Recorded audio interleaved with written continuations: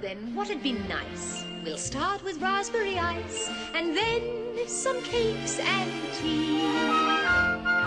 Order what you will. There'll be no bill. It's complimentary. You're very kind. Anything for you, Mary Poppins.